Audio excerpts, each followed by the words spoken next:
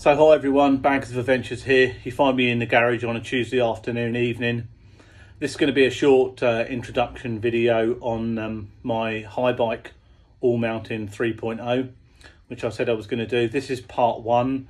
Part two will be a quick uh, turn around of the camera in a little bit after this video where I'll go through the bike, um, where I bought it from, how much I paid, what I like about it, what I don't like about it, anything that might have gone wrong. I did say that I would do a video on the GoPro, but I've yet to work out how to transfer it from the GoPro to the computer and from the computer to YouTube. It's a lot easier to upload a video from here. So my video is going to be on my e-bike, my first bike, my Haibike, my all mountain 3.0 in, uh, I believe it's just like a, a I call it sky blue. Um, it's a lovely bike. Um, I'll keep this brief, like I said. Um, please like and subscribe.